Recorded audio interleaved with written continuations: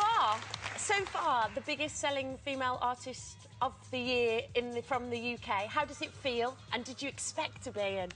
Um, yeah, uh, no, obviously not, and it's all good. Do you know what I mean? I'm having a lovely, lovely year.